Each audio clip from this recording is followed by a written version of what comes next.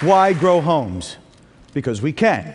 Right now, America is in an unremitting state of trauma, and there's a cause for that. Right? We've got McPeople, McCars, McHouses. Right? As an architect, I have to confront something like this. So, what's a technology that will allow us to make ginormous houses?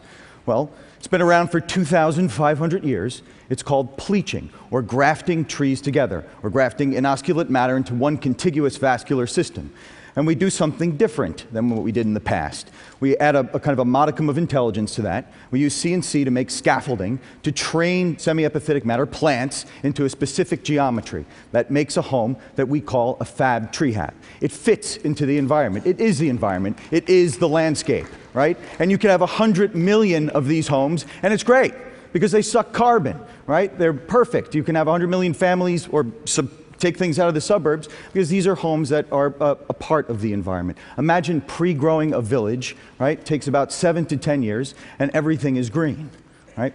So, not only do we do, do we do the veggie house, we also do uh, uh, the in vitro meat habitat, or homes that we're doing research on now uh, in Brooklyn, where, as an architecture office, we're the first of its kind to put in a molecular cell biology lab and start experimenting with regenerative medicine and tissue engineering and start thinking about what the future would be if architecture and biology became one. So we've been doing this for a couple of years, and that's our lab. And what we do is we grow extracellular matrix from pigs. We use a modified inkjet printer, and we print geometry.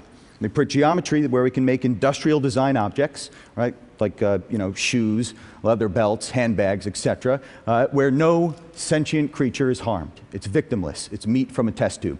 So our theory is that eventually we should be, we should be doing this with homes. So here is a typical stud wall in uh, architectural construction, and this is a section of our proposal for a meat house, where you can see we use fatty cells as insulation, cilia for dealing with wind loads, and sphincter muscles for the doors and windows. and we know it's it's incredibly ugly, but it, you know, it could have been an, an, English Tudor or a Spanish colonial, but we kind of chose this shape. And there it is, kind of uh, grown, at least one particular section of it. We had a big show in Prague, and we decided to put it in front of uh, the cathedral so religion can confront the house of meat. That's why we grow homes. Thanks very much.